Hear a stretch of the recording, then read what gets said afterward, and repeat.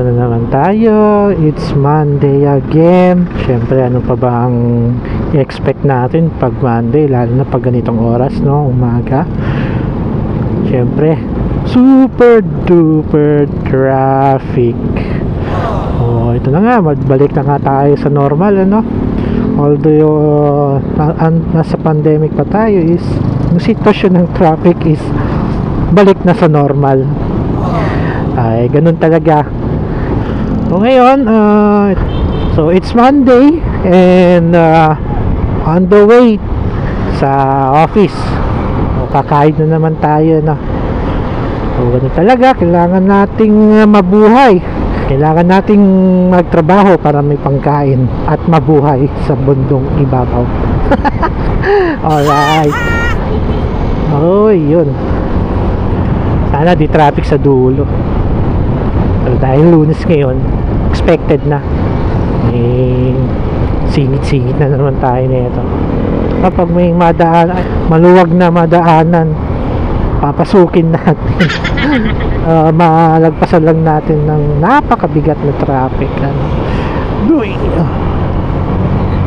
Lubak, lubak, lubak, lubak.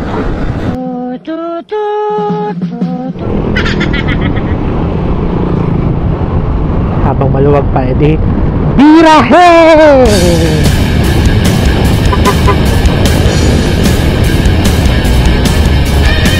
Uy, uy.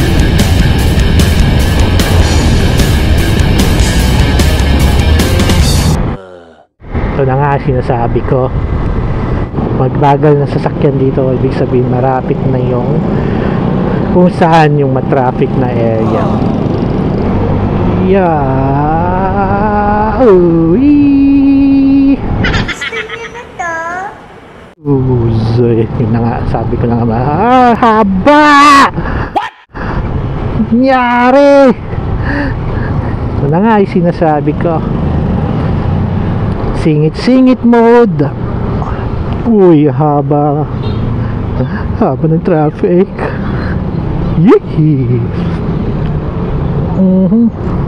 Tapos may naka, nakapark pa dito sa gilid, no? Imbes na nadadaanan. Ay, hindi, oh. Nakaharang pa sila. Ay, nako. Naipit tayo tuloy.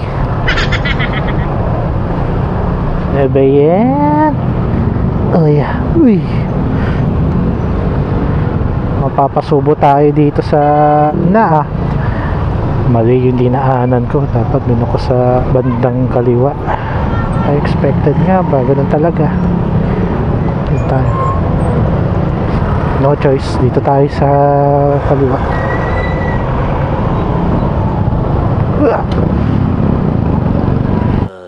Dito pa lang traffic na. What more? Doon sa bandang may tulay doon sa kabila. Papasok ng Pasig. Alari lang tayo. Yan na. Uh. Ay, ay, ay. Sabi ko nga ba, oh, haba na. Dito pa lang, oh. Nandito yung dulo ng traffic. Papunta doon sa may kulay. Papasok ng Pasig. A few moments later. Lo. Ang haba. Alam nyo guys, mga isa, ang tansya ko dito, mga isang kilometro na itong traffic mula dito sa kinaroroonan ko papunta doon kung saan yung intersection ring crossing yun nga yung papasok sa tul ay papuntang Pasig. Grabe. No choice kundi ganito. Ganito, ganito gawin natin pag naipit na sa traffic. So, ingat ingat na lang muna. Ingat ingat na lang ha i-anticipate nyo kung ano talaga yung magiging senaryo mga ganitong uh, sitwasyon sa pag matraffic talaga eh siyempre pag rider ka or motorcycle rider ka as I have said kanina is kung saan yung maluwag doon ka talaga dadaan. Uh, haba the traffic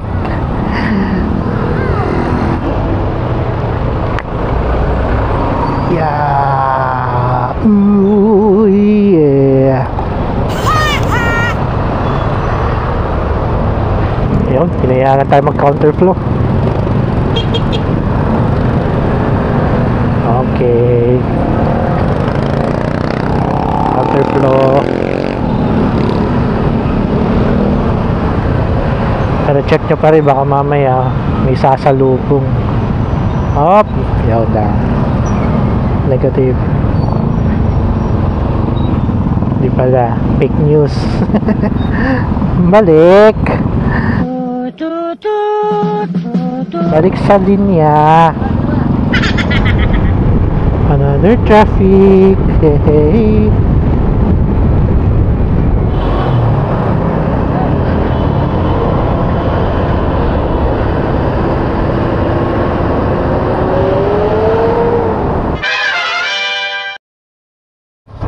So ayun guys, good evening po sa ating lahat.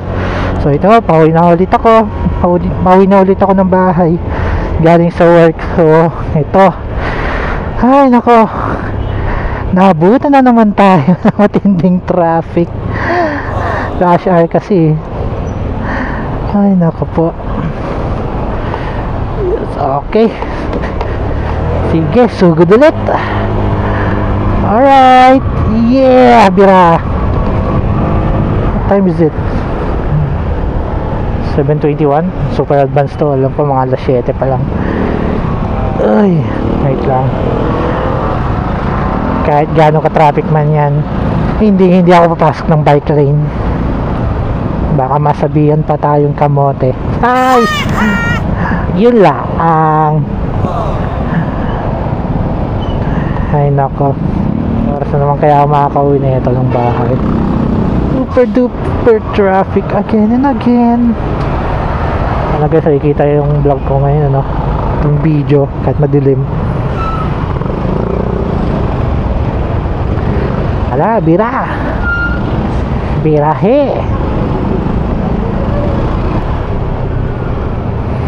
Oh no. Oh no. Traffic. Yes, sir. Excuse me.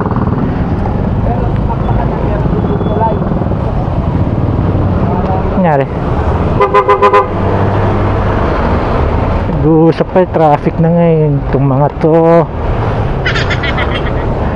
Higelaban.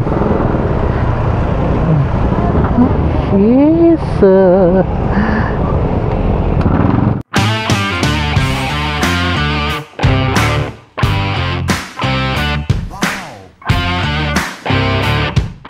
Ang ganda. Nice one. Royal Enfield. Ganda. Wow.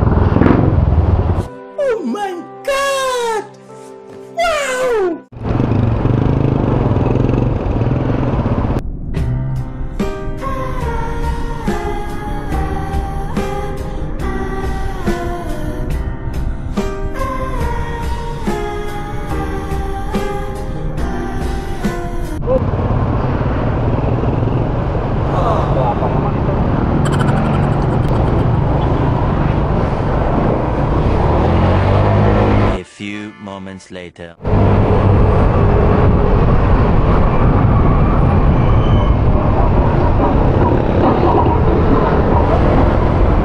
Alright, sing it again. Ah, dito na tayo, malapit na sa crossing.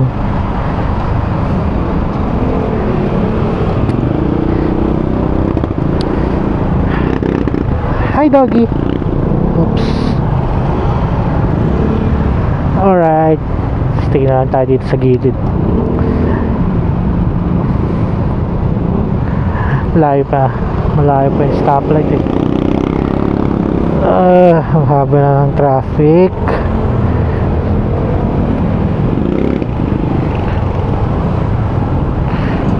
Ah, lagi. Ito ang literal na motorcycle lane sa gilid. Sana di traffic dun sa bandang dulo. Oh.